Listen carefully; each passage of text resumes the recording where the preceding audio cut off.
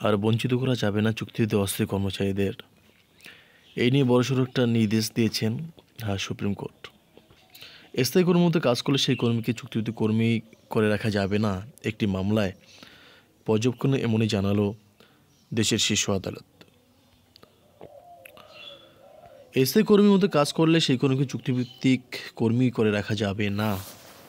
এই মামলায় পর্যবেক্ষণে এমনই জানালো শীর্ষ আদালত। কয়লা খনি সংক্রান্ত একটি মামলায় সুপ্রিম কোর্টের বিচারপতি সন্দীপ মেহতা এবং বিচারপতি পামি দিগান্তম নরসিংহের বেঞ্চের পর্যবেক্ষণ এভাবে কর্মীদের বঞ্চিত করা যায় না, সেটা সুপ্রিম কোর্ট জানিয়ে দিয়েছেন। আদালতের সূত্রের খবর, স্থায়ী কর্মী স্বীকৃতি না পাওয়া আদালতের দ্বারস্থ হয়েছিল মাহান্ডি কোলফিল্ডের কিছু কর্মী।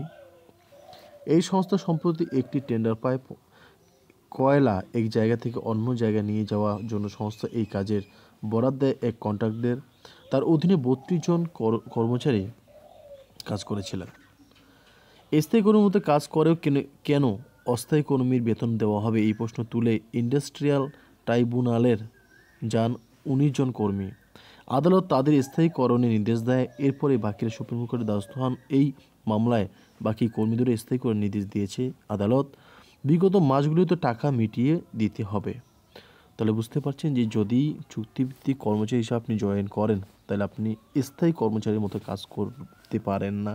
যদি করেন, তাহলে অবশ্যই যে দপ্তরে আপনি কাজ করেন, যেখানে আপনি কাজ করেন, তাহলে তা আপনাকে স্থায়ী কর্মী যতটা বেতন, অতটাই আপনাকে দিতে হবে। এইরকমই শীর্ষ আদালত একটি রায় দিতে গিয়ে ঘোষণা করেছেন। তো অবশ্যই যারা সিভিক, আশা, আইসিডিএস অঙ্গনারী এমএসকে আমাদের রাজ্যে রয়েছেন, তাদের বলা যায় একটা সুখের, খুশির খবর। অবশ্যই এটা মার্চের খবর।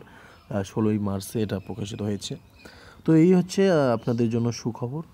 তো অবশ্যই এটা আমাদের রাজ্যে কতটা কার্যকরী হবে সেটা অবশ্যই দেখান। আমাদের রাজ্য বুঝবে কিনা বিষয়টা সেটাই অবশ্যই দেখান, না বুঝলে তো কিছু করার নেই।